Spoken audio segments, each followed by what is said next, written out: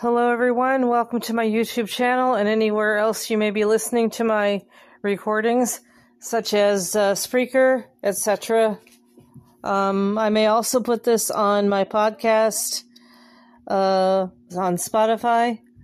This is Sarah E, and this is going to be a socially conscious recording. Um, I do a process called integrating mental social health. It was formerly called mental, emotional, and self health mesh, but I added social issues to it in my life purpose module and anywhere else I may find it necessary. I want to talk about something that's really been getting me for the past 24 hours. Uh, my roommate tried to call me at the grocery store yesterday. Yes, I ma- I finally made a face-to-face grocery run yesterday after using Instacart for 6 weeks. I wasn't feeling well, recovering still recovering from COVID. And when I'm sick, I get sensitized to agoraphobia. So I was using a lot of delivery services for my food, but he called me at the grocery store and had trouble getting a hold of me. He said that his medical medical provider slash uh, Medicaid insurance uh, organization uh, representative that is was managing his case and signing him up for uh, Medi-Cal again here in uh, California uh, told him that Medi-Cal said that I was coupled with him in some ways. That I was, uh, they, they had this misunderstanding that um, they thought that we were sharing uh, food stamps and they thought that we were a two person household. And um, I had already been evaluated by them for my week, my yearly renewal myself, and I had put down that I was a separate household from him. Um, I'm not sure if I remember exactly if I had to report um, that he was also receiving Medi-Cal, but there was a note there, or there was a there was like an, a proviso. I don't know if it was a note in there or if it was. I'm not really sure how things work, but um, I put myself down as a separate household. Um, there was some. There was a proviso. They said that um, if uh, if I had a roommate who uh, who uh, was applying for Medi-Cal, they were a separate case. So I took that to mean that we were separate households. So I put myself down as a separate household. I didn't feel there was any need to report him. And I had there hadn't been any need to report him. But he was applying for Medi-Cal. He had applied for it last year. And um, this year he was renewing it with his uh, case manager, his social worker on his on his PACE program, and um, that that's kind of like a Medi-Cal insurance. It kind of helps pay for stuff that um, not paid for for uh, seniors 55 and older.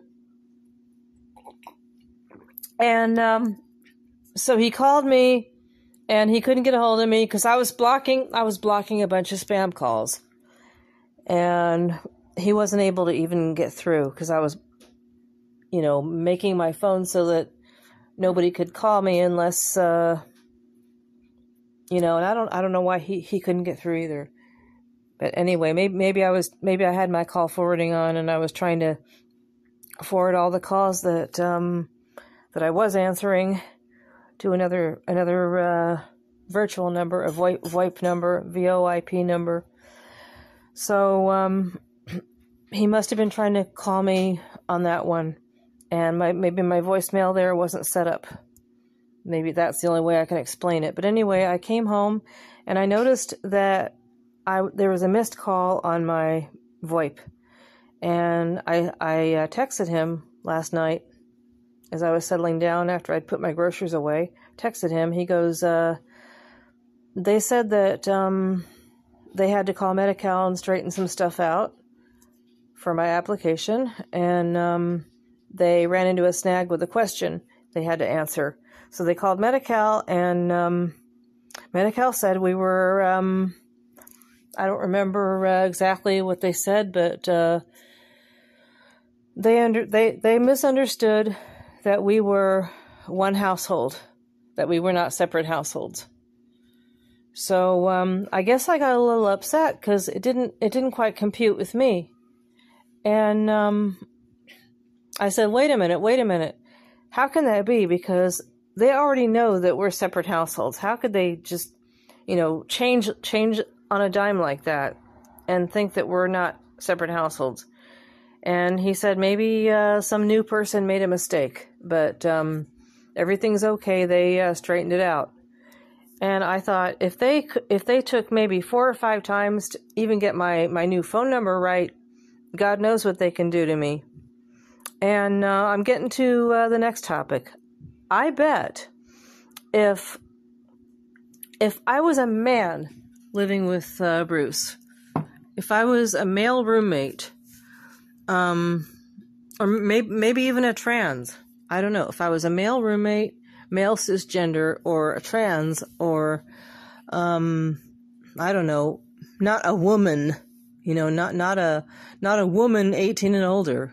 Now, uh, if I even if I were a, a minor female um, or a minor, they they might think that um, he's just ta- he's taking care of me. You know, le- legally, if you're if you're a minor living with an adult, you know they should be taking care of you. They should have some kind of legal uh, guardianship or whatever, but um, they're automatically assuming, I, I feel that they're automatically assuming that just because I am a female living with Bruce, that we're a couple. And I, you know, he was even telling me, Bruce was even saying, if we were two women living together and, or two men living together, they, they wouldn't bat an eye. They'd be like, okay, uh, okay, Carl's your roommate, Mr. Bruce. Carl's your roommate. If, if I, my name were Carl and I were a guy, okay, uh, Carl, Carl's your roommate. Or if, um, you know, if they were, they were question, if, if, if Bruce was a woman, okay, Roussel, um, Carol's your roommate. Cyril is your roommate. You know, but, but it's, uh, it's Bruce and Carol. And it's like, uh, excuse me. Just because there's a Bruce and Carol living in, living at the same address, we're a couple. Let me educate society right now. A man and a woman living together are not always a couple. They're not always a father and a daughter, family. They're not always a uh, a mother and a son. They're not always family. They're not always uh, you know, Mr. and Mrs. They are sometimes just friends. And they have separate expenses.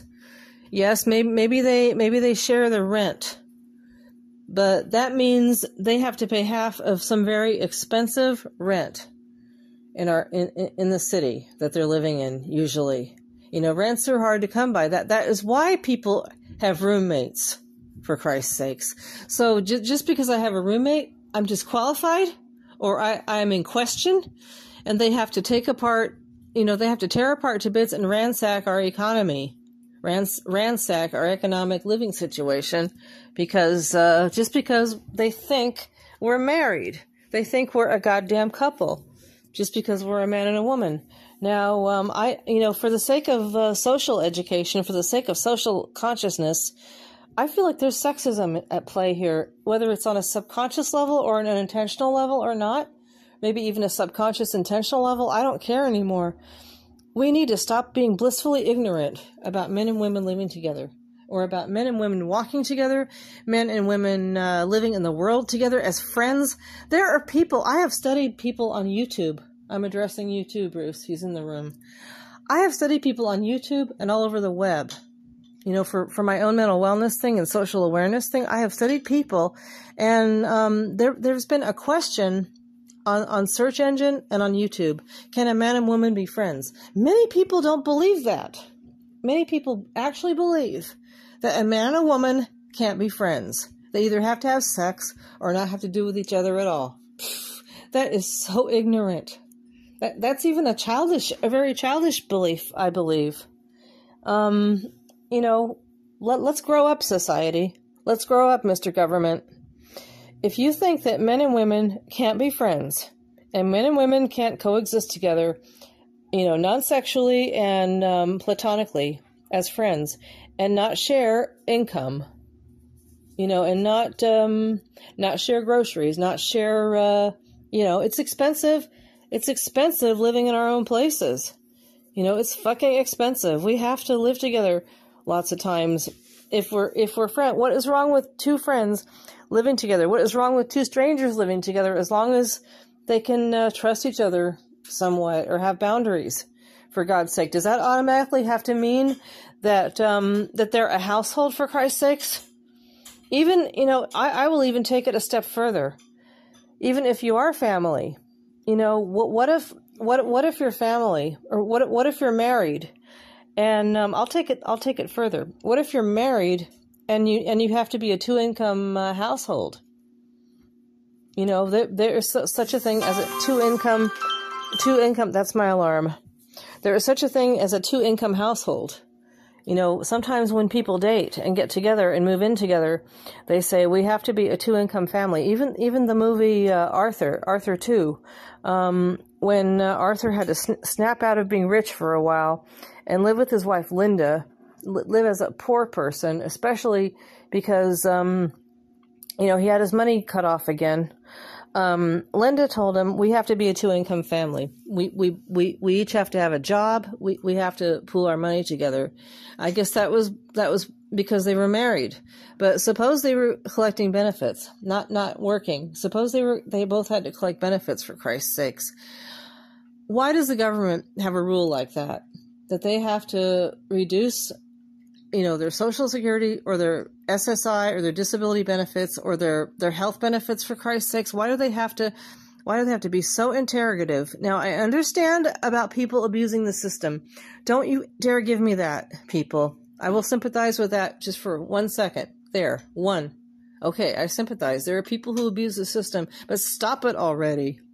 Stop interrogating and having a bad attitude towards women and towards, uh, towards working class people like that because um, we don't have a lot of money. Damn it, even married couples don't have a lot of money. My friend, uh, you know, I won't even go into what happened to her, but my friend and uh, her her boyfriend they got married and had their benefits reduced because they got friggin' married. Bruce and I aren't even friggin' married, and Medi-Cal th- thought, "Oh my god."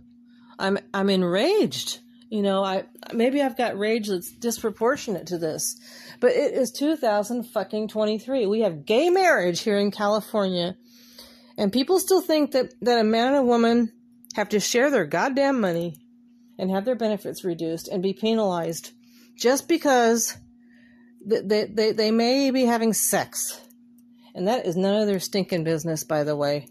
That is the government's none of their stinking business. They think they have to. Um, come into a woman's bedroom and say don't and say uh, keep your damn damn baby even if uh, all they've got is a brain without a skull. Don't have an abortion. They've got to um, come into the bedroom and say don't commit sodomy. And now they're you know bruce says i have nothing to worry about now but i don't trust the government. If they think they have a right to come into our bedrooms and and watch us have sex if they think they have a right to come into our uteruses and watch watch us be pregnant, or if they think they have a right to to to know what you know our business, our living situation, you know, or how much money we make, and we don't make a lot. God damn it, we don't. Neither one of us works right now. Shame on them. Shame on that system. And um, if it is a new guy who pushed a button, for for God's sake, let their superior you know, let their superior take their hands and tie them behind their back. I don't believe in cutting off fingers. I don't believe in the death penalty, but let them, let them teach them. Um, don't push a button unless you talk to me first. Talk to me, your supervisor first. And then we can deal with the problem. But why, oh, why, oh, why do they think that a man and a woman can't be friends?